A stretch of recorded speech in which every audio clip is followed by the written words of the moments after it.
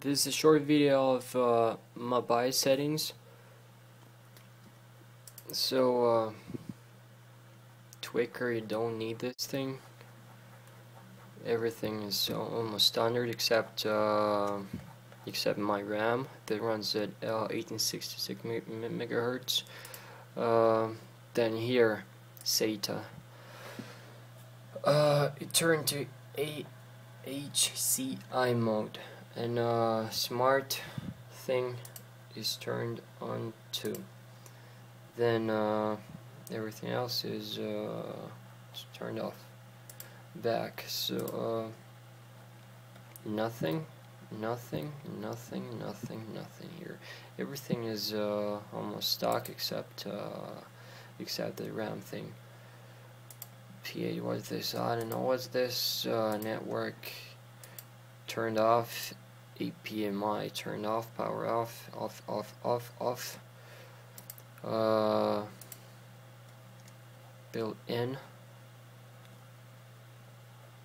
Some things everything is stock in USB USB turned on turned on smart auto.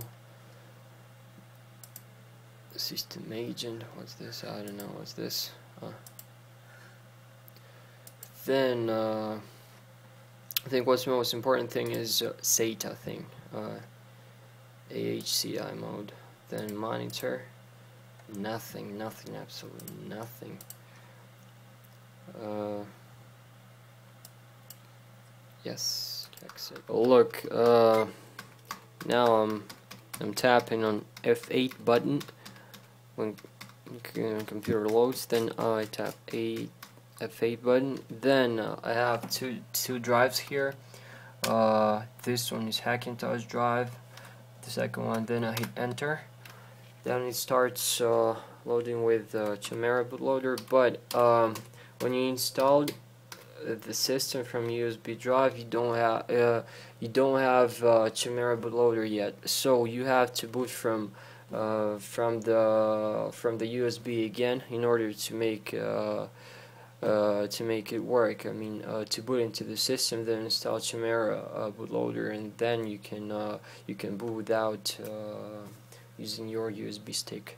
So here I choose Lion, hit Lion. Okay. here it loads, and you'll see. You'll see everything.